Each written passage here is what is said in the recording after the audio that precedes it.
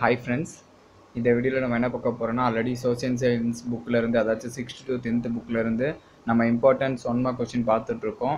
So அந்த இதில் வந்து இது பார்ட் ஃபோர் பார்த்துட்ருக்கோம். ஆல்ரெடி நம்ம மூணு பார்ட் முடிச்சிட்டோம். ஸோ புதுசாக பார்க்குறவங்க நம்மளோட ப்ரீவியஸ் வீடியோவும் போய் பாருங்கள் உங்களோட ஃப்ரெண்ட்ஸுக்கும் ஷேர் பண்ணுங்கள் தென் வந்து இதுலேருந்து தான் வந்து உங்களுக்கு ஏன்னா நம்ம சமைச்சர் புக்கில் இருந்தால் உங்களுக்கே தெரியும். டிஎன்பிஎஸ்சி குரூப் டூ தென் இனிமேல் வரப்போகிற டிஎன் ஜோன் எக்ஸாம்ஸ் எல்லாத்துமே வந்து பாலிட்டி ஜியாகிரஃபி ஹிஸ்ட்ரி எல்லாமே வந்து அதுலேருந்து தான் கேட்பாங்க. ஸோ அந்த பேசிக்ஸில் தான் வந்து நம்ம ஒன் பை ஒன்னாக பார்த்துட்ருக்கோம். ஸோ ப்ரீவியஸ் வீடியோ பார்க்கலாம். அதுவும் போய் பார்த்துட்டு வாங்க. தென் அதே மாதிரி இதுவும் அதுக்கப்புறம் கண்டினியூ பண்ணுங்கள் வர வீடியோஸ் எல்லாம். ஸோ இதில் ஃபஸ்ட்டு கொஸ்டின் நம்ம பார்த்தோன்னா முசோல்னியை கருஞ்சட்டையினர் எவ்வாறு அழைத்தனர்? அதாச்சும் டியூஸ் அப்படின்னு சொல்லிட்டு கூப்பிட்டாங்க முசோல்னின்றவங்கள கருஞ்சட்டையினர். ஏன்னா வந்து முச கருஞ்சட்டையினர்ன்றவங்க தான் வந்து முசோல்னியை வந்து ஃபாலோ பண்ணாங்க. அவங்களோட கொள்கைகள்லாம். ஸோ அது கரெக்டாக பார்த்துக்குங்க. அடுத்து முசோல்னியின் ரகசிய காவல்படை எவ்வாறு அழைக்கப்பட்டது? அதாச்சும் அவங்களோட காவல்படை வந்து ஓவ்ரா அப்படின்னு சொல்லிட்டு கூப்பிட்டாங்க. முசோல்னியோட ரகசிய காவல்படையை. ஸோ அதுவும் பார்த்துக்குங்க. தென் அதுக்கப்புறம் முசோல்னிக்கும் போப்புக்கும் இடையேயான உடன்படிக்கை. முசோல்னிக்கும் போப்புக்கும் இடையேயான உடன்படிக்கை என்னென்னா லேட்ரன் உடன்படிக்கை நைன்டீன் டுவெண்ட்டி நைன் அப்படின்றது தான். அதாச்சும் லேட்ரன் உடன்படிக்கை அது எப்போ நடந்துச்சுன்னா ஆயிரத்தி தொள்ளாயிரத்தி இருபத்தி ஒன்பதில். ஸோ கரெக்டாக இயரும் ஞாபகம் வச்சுக்கோங்க. உடன்படிக்கை நேமும் கரெக்டாக ஞாபகம் வச்சுக்கோங்க. தென் அதுக்கப்புறம் முசோலினியின் நோக்கம் அப்படின்றது என்னென்னா பண்டைய ரோமானிய பேரரசை உருவாக்குதல் தென் அதுக்கப்புறம் வந்து இத்தாலிய பேரரசாக மாற்றுவது அதை அழிப்பது. அதாச்சும் ரோமானிய பேரரசை வந்து நல்லா பக்காவாக உருவாக்கணும். அட் த சேம் டைம் வந்து இத்தாலிய பேரரசை மாற்றுவது அதாச்சும் சேஞ்ச் பண்ணணும் அப்படி இல்லைன்னா அழிக்கணும். ஓகேங்களா? ஸோ கரெக்டாக பார்த்துக்கோங்க. இந்த மூணு கொள்கையும். அடுத்து முசோல்னி சர்வதேச சங்கத்தில் இருந்து வெளியேறிய ஆண்டு. ஆயிரத்தி தொள்ளாயிரத்தி முப்பத்தி ஏழில் தான் வந்து சர்வதேச சங்கத்திலேருந்து முசோல்னி வந்து வெளியே வெளியேறினாங்க. ஸோ கரெக்டாக பார்த்துக்குங்க. அடுத்த கொஸ்டின் என்னென்னா இரண்டாம் உலகப்போர் ஏற்பட காரணம் ரோம் பெர்லின் டோக்கியோ உடன்படிக்கை. அதுக்கு தான் அதோட அந்த உடன்படிக்கையினால தான் வந்து இரண்டாம் உலகப்போர் உருவாச்சு. நல்லா பார்த்துக்குங்க. ரோம் பெர்லின் டோக்கியோ உடன்படிக்கை. அடுத்து வந்து பாசிச கொள்கைகள் அப்படின்றது என்னது என்னென்னா நாட்டை உயர்நிலைக்கு கொணர்தல் தனி மனித உடைமை பாதுகாத்தல் ஆற்றல் மிக்க வெளியுறவு கொள்கை. ஸோ இந்த மூணுமே வந்து பாசிச கொள்கை. அதாச்சும் ஒரு கூட்டம் இருக்குன்னா அந்த கூட்டத்தோ கூட்டத்துக்குன்னு ஒரு கொள்கை இருக்கும். ஒரு குழு இருக்குன்னா ஒரு குழுன்னு கொள்கை இருக்கும் இல்லையா? ஸோ அந்த மாதிரி பாசிச கொள்கையோட குழு. சரி பாசிசத்தோட கொள்கை இது. அதே மாதிரி பாசிச கொள்கையின் இலக்கு அப்படின்றது என்னென்னா எல்லா நாட்டிற்காகவே எல்லாம் நாட்டிற்காகவே நாட்டிற்கு எதிராக எதுவும் இல்லை. நாட்டிற்கு வெளியே எதுவும் இல்லை. ஸோ எல்லாமே வந்து ஒரு ஊருக்காக ஒரு நாட்டுக்காகன்றது மட்டுக்காக தான் அதை தவிர்த்து வேறு எதுக்காகவும் இல்லை அப்படின்றது தான் அந்த கொள்கையோட இலக்கு. அதுக்கப்புறம் வந்து கரும்பில் உள்ள சர்க்கரையின் அளவு. கரும்பில் பார்த்தோம்னா பத்து பர்சன்டேஜ் சர்க்கரை இருக்கும் கரும்பின் இடையில் பத்து பர்சன்டேஜில் ஓகேங்களா? ஸோ அதே மாதிரி அடுத்து சர்க்கரை ஆலைகள் அமைந்துள்ள இடம். மூலப்பொருட்கள் கிடைக்கும் இடத்தின் அருகில். அதாச்சும் வந்து இப்போ நம்ம எக்ஸாம்பிளுக்காக இது எப்படி சொல்லலாம்னா நம்ம ஊரில் வந்து கடலூரில் தான் கடலூர் சைட்லாம் வந்து நிறையா வந்து கரும்பெல்லாம் வந்து இது பண்ணுவாங்க. அங்கே தான் வந்து நிறைய கரும்பு நடுவாங்க. ஸோ அதுக்கு பக்கத்துலேயே பார்த்தோன்னா நிறைய ஆலையெல்லாம் இருக்கும். அதுதான் இங்கே சொல்ல வராங்க. அதாச்சும் கரும்பு எங்கே விளையுதோ அதுக்கு பக்கத்துலேயே வந்து சர்க்கரை ஆலையும் அதிகமாக இருக்கும். அதனால தான் இங்கே மூலப்பொருட்கள் கிடைக்கும் இடத்தின் அருகில்னு சொல்லிட்டு சொல்லியிருக்காங்க. சரிங்களா? அடுத்து இந்தியாவின் மான்செஸ்டர் வந்து என்றது உங்களுக்கு தெரிஞ்சிருக்கும். மும்பை இந்தியாவின் மான்செஸ்டர்ன்றது உலகில் பருத்தி உற்பத்தியில் இந்தியாவின் இடம். பருத்தி உற்பத்தியில் இந்தியாவோட இடம் எவ்வளோன்னா மூணாவது இடத்துல இருக்குது இந்தியா.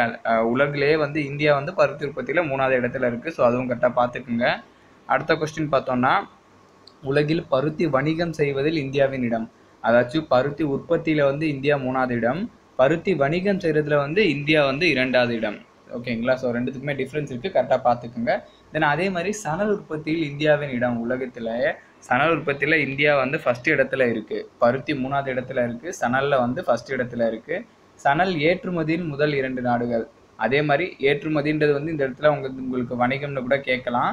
ஸோ அப்படி பார்க்கும்போது முள் மொதல் ரெண்டு நாடுகள் அப்படின்றது என்னென்னா இந்தியா அண்ட் வங்கதேசம். அதாச்சும் நம்ம ஊரும் வங்கதேசமும் தான்.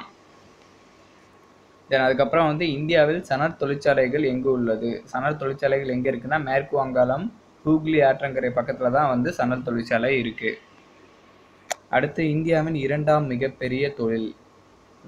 இந்தியாவோட இரண்டாம் மிகப்பெரிய தொழில்ன்றது வந்து சர்க்கரை ஆலை தான். ஓகேங்களா? ஸோ அதுக்கடுத்த பார்த்துக்குங்க. அடுத்து இந்தியாவின் சர்க்கரை மண்டலம் இது உத்தரப்பிரதேசம் அண்ட் பீகார் தான் வந்து இந்தியாவின் சர்க்கரை மண்டலம். தென் இந்தியாவில் சர்க்கரை விற்பனை முறை. அதாச்சும் ஒவ்வொரு நாட்டிலையும் வந்து அரசு இருக்கும். அந்த அரசு வந்து ஒரு ஒரு விதமான விற்பனை முறை வச்சுருப்பாங்க. அந்த மாதிரி இந்தியாவில் வந்து இந்தியன் கவர்மெண்ட் வந்து இந்த சர்க்கரை விற்பனை முறைக்கு என்ன வச்சுருக்காங்கன்னா ரெட்டை விலை முறை அப்படின்ற உற்பத்தி முறையை யூஸ் பண்ணுறாங்க விற்பனை முறையை யூஸ் பண்ணுறாங்க ஸோ கரெக்டாக பார்த்துக்குங்க. ரெட்டை விலை முறை. உலக சர்க்கரை உற்பத்தியில் இந்தியாவின் இடம். நம்ம வந்து நாலாவது இடத்துல இருக்கோம் சர்க்கரையில். ஸோ கரெக்டாக பார்த்துக்குங்க. பருத்தியில் மூணாவது இடத்துல இருக்கும். சணலில் மொதல் இடத்துல இருக்கும். சர்க்கரையில் நாலாவது இடத்துல இருக்கும். சரிங்களா? தென் அடுத்த கொஸ்டின் பார்த்தோன்னா உலக சர்க்கரை உற்பத்தியில் முதல் மூன்று நாடுகள் நமக்கு நம்ம நாலாவது இடத்துல இருக்கோம். அதுக்கு முன்னாடி இருக்கக்கூடிய மூன்று நாடுகள் என்னென்னா கியூபா பிரேசில் ரஷ்யா. இவங்க மூணு பேர் தான் நம்மளோட முன்னாடி இருக்காங்க. அடுத்து பார்த்தோன்னா இந்தியாவில் இரும்பு எஃகு ஆலைகள் அமைந்துள்ள இடம். இரும்பு எஃகு ஆலை அமைந்துள்ள இடம்னு பார்த்தோன்னா சோடா நாகபுரி பீடபூமி அப்படின்ற இடத்துல தான் வந்து நிறைய அமைஞ்சிருக்கு இரும்பு எஃகு ஆலைகள். அதுக்கப்புறம் வந்து டாடா இரும்பு கம்பெனி எவ்வாறு எப் தற்போது அழைக்கப்படுகிறது? அதாச்சும் முன்னாடி அப்போ வேறு நேமில் வெறும் டாடா இரும்பு கம்பெனி தான் கூப்பிட்டுருந்தாங்க. இப்போ உங்களுக்கு தெரியும் இல்லையா டாடா டாட்டா டாடா எஃகு குழுமம் அப்படின்னு சொல்லிட்டு தான் அதை கூப்பிடுறான். பேர் சேஞ்ச் பண்ணியிருக்காங்க ஓகேங்களா? ஸோ அது கரெக்டாக பார்த்துங்க. அடுத்து பார்த்தோன்னா இந்தியாவின் பழமையான ஒருங்கிணைந்த எஃகு ஆலை. ரொம்ப ரொம்ப பழமையான எஃகு ஆலைனா இந்த டாடா இரும்பு கம்பெனின்றது தான். அதாச்சும் டாடா எஃகு குழுமம்ன்றது தான். அது வந்து எப்போ அந்த இயர் வந்து எப்போனா ஆயிரத்தி தொள்ளாயிரத்தி ஏழுலேருந்து இது இருக்குது இந்த டாடா எஃகு குழுமம்ன்றது. அதுக்கப்புறம் வந்து உலக இரும்பு உற்பத்தியில் இந்தியாவின் டாடா நிறுவனத்தின் இடம். உலக இரும்பு உற்பத்தியிலே வந்து நம்மளோட டாடா நிறுவனமும் அதில் ஆட் ஆகிருக்கு அதில் வந்து எத்தனாவது இடத்துல இருக்குன்னா பத்தாவது இடத்துல இருக்குது இரும்பு உற்பத்தியில் இந்தியாவில் டாடா நிறுவனம். ஓகேங்களா ஸோ அதுவும் கரெக்டாக பார்த்துக்குங்க.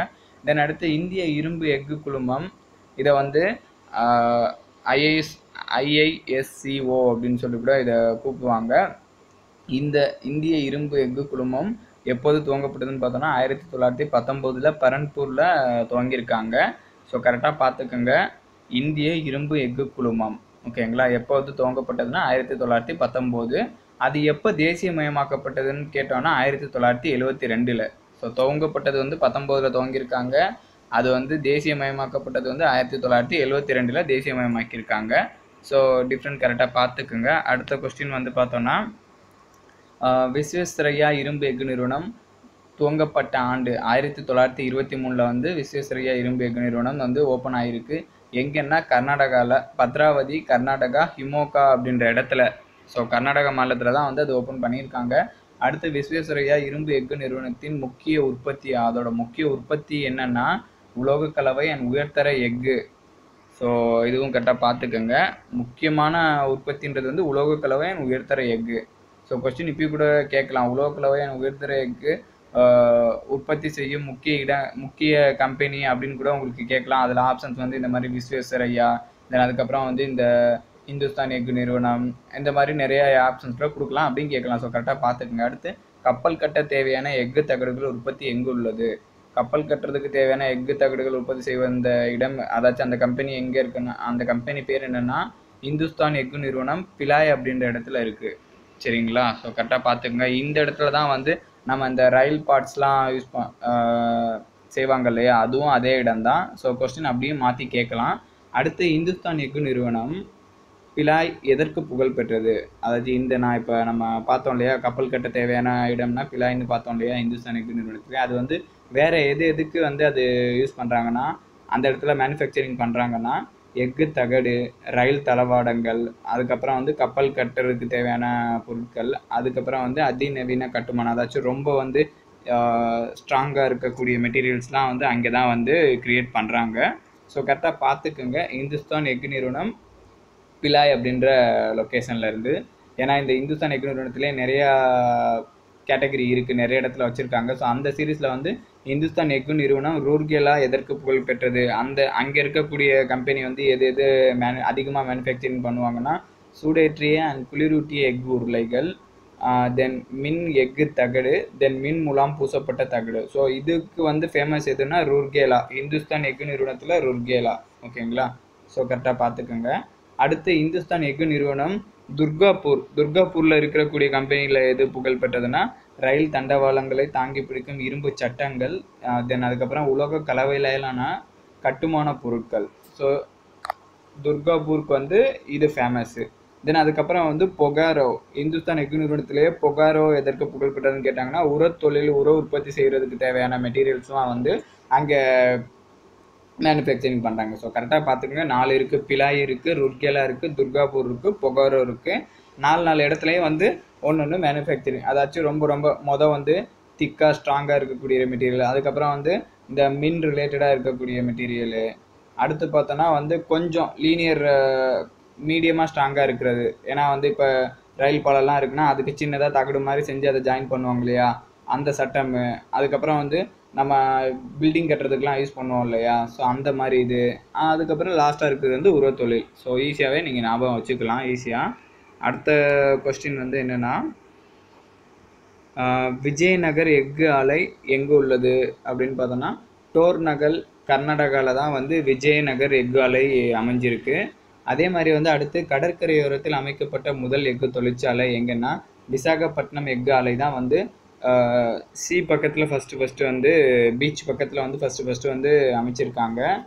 அடுத்து விஜயரங்க நாயக்கரின் மனைவியான மீனாட்சியில் வளர்ப்பு மகன் அப்படின்றவர் யாருன்னா விஜயகுமார நாயக்கர்ன்றவங்க தான் வந்து அவங்களோட விஜயரங்க நாயக்கரின் மனைவியான மீனாட்சியோட வளர்ப்பு மகன். ஓகேங்களா? ஏன்னா இதோட சீரீஸ் நம்ம லாஸ்ட் பாட்லேயும் பார்த்துருக்கோம். அந்த பாட்டெலாம் கரெக்டாக பார்த்துட்டே வந்திருந்தீங்கன்னா இந்த விஜயரங்க நாயக்கர்ன்றவங்க யாருன்னு தெரிஞ்சிருக்கும். இந்த மீனாட்சின்றவங்க யாருன்னு தெரிஞ்சிருக்கும். அந்த மீனாட்சியோட வளர்ப்புனவங்க தான் விஜயகுமார நாயக்கர். ஸோ அது கரெக்டாக பார்த்துக்கோங்க. அடுத்து மதுரை நாயக்கர்களின் ஆட்சி முடிவுக்கு வந்த ஆண்டு. ஆயிரத்தி எழுநூற்றி முப்பத்தி ஆறில் தான் வந்து மதுரை நாயக்கர்களோட ஆட்சி முடிவுக்கு வந்திருக்கு. தென் அதுக்கப்புறம் வந்து தஞ்சாவூர் பொறுப்புலராக செயல்பட்டவர் யார்? அதாச்சும் நாயக்கர்லேயே தஞ்சாவூர் பொறுப்புலராக செயல்பட்டவர் யாருன்னா திம்மப்ப நாயக்கர் அப்படின்றவங்க தான் வந்து தஞ்சாவூரில் வந்து பொறுப்பாளராக இருந்திருக்காங்க. அடுத்து சிவப்ப நாயக்கரின் தந்தை பெயர் யாருன்னா திம்ம திம்மப்ப நாயக்கர் தான் வந்து அவரோட தந்தை. ஸோ இதுலேருந்து என்னென்னா திம்மப்ப நாயக்கரோட மகன் பேர் என்னென்னா சிவப்ப நாயக்கர். ஸோ அதுவும் கரெக்டாக பார்த்துக்கோங்க. அடுத்து சிவப்பநேரின்னு அழைக்கப்படும் ஏரின்றது என்னென்னா சிவங்கா ஏரியை தான் வந்து சிவப்பநேரின்னு சொல்லிட்டு கூட கூப்பிடுவாங்க. ஸோ அதுவும் கரெக்டாக பார்த்துக்குங்க. தென் அடுத்த கொஸ்டின் என்னென்னா அச்சுதப்ப நாயக்கரின் தந்தை பெயர். அச்சுதப்ப நாயக்கரின் தந்தை பெயர் வந்து சிவப்ப நாயக்கர். ஸோ இதுலேருந்து அப்போ என்னென்னா சிவப்ப நாயக்கரோட பையன் தான் வந்து அச்சுதப்ப நாயக்கர். ஸோ அதுவும் கரெக்டாக பார்த்துங்க அடுத்து ஸ்ரீரங்கம் அரங்கநாதருக்கு வைர சிம்மாசனம் வழங்கியவர். இந்த அச்சுதப்ப நாயக்கர்ன்றவங்க வந்து என்ன பண்ணியிருக்காங்கன்னா ஸ்ரீரங்கம் கோவில் இருக்குது பார்த்தீங்களா ஸோ அங்கே வந்து வைர சிம்மாசனமே கொடுத்துருக்காங்க. ஸோ அது கரெக்டாக பார்த்துங்க அடுத்து அச்சுதப்ப நாயக்கரின் இளைய மகனின் பேர் என்னென்னா ரகுநாத நாயக்கர் தான் வந்து அச்சுதப்ப நாயக்கரோட கடைசி பையன். அடுத்து ராமாயணம் புஷ்பகர்ணம் பாரிஜாதம் போன்ற நூல்களை தெலுங்கில் மொழிபெயர்த்தவர். ஸோ தெலுங்குல வந்து இந்த நூல்களெல்லாம் வந்து மொழிபெயர்த்திருக்காங்க. அது யாருன்னா ரகுநாத நாயக்கர் தான் வந்து இந்த நூல்கள்லாம் மொழிபெயர்த்திருக்காங்க. அடுத்து விஜய ராகவ நாயக்கரின் தந்தை விஜய் ராகவ நாயக்கரின் தந்தை வந்து யாருன்னா ரகுநாத நாயக்கர். ஸோ அப்போ ரகுநாத நாயக்கரோட பையன் தான் வந்து விஜயராக விஜய் ராகவ நாயக்கர். ஸோ இந்த சீரீஸ்லாம் கரெக்டாக பார்த்துக்குங்க. ஒரு வாட்டி பார்த்தாலே இது உங்களுக்கு புரிஞ்சிடும் தென் அடுத்து தஞ்சை நாயக்கர்களின் கடைசி அரசர். விஜய் ராகவ நாயக்கர் அப்படின்றவங்க தான் வந்து தஞ்சையோட கடைசி நாயக்கர். அதாவது ரகுநாத நாயக்கரோட பையன் விஜயராகவ நாயக்கர். ஓகேங்களா தஞ்சை நாயக்கர்களின் ஆட்சி முடிவுக்கு வந்த ஆண்டு ஆயிரத்தி அறநூற்றி எழுபத்தி மூணில் வந்து முடிவுக்கு வந்திருக்கு தஞ்சையோடது. ஸோ இந்த மாதிரி தஞ்சை மதுரை திருச்சியில் முடிவுக்கு வந்த ஆண்டெல்லாம் கரெக்டாக பார்த்துக்குங்க. அடுத்து பாலாறு மற்றும் கொள்ளிடம் ஆற்றுக்கு நடுவில் அமைந்த அரசு.